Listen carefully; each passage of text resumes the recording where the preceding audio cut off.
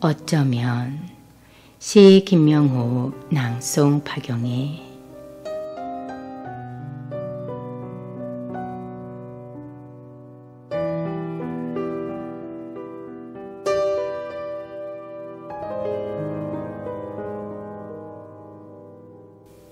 이번 생에는 만나지 못하고 스쳐 지나갈 인연이었는지도 모르겠습니다.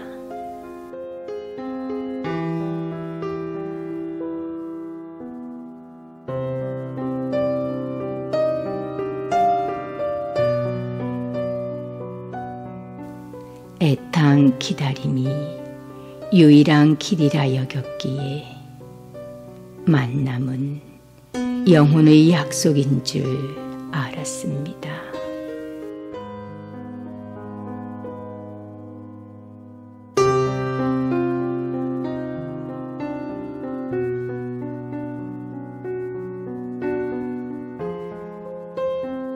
말없이 귀 기울여 주고 차가운 손 보듬어 주던 것이 너무나도 소중한 일이었음을 알게 해준 당신에게 고맙습니다.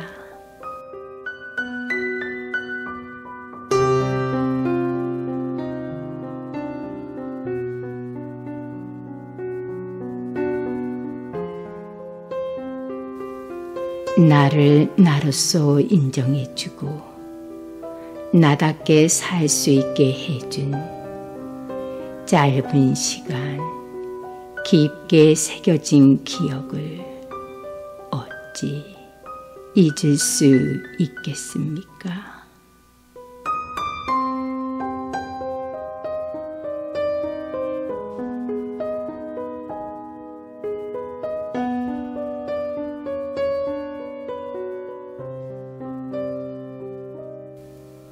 겨울이 흰 눈을 그리워하고 꽃이 봄을 다시 찾듯 마지막 인연의 흔적이 퇴색되거나 변형되지 않길 바라봅니다.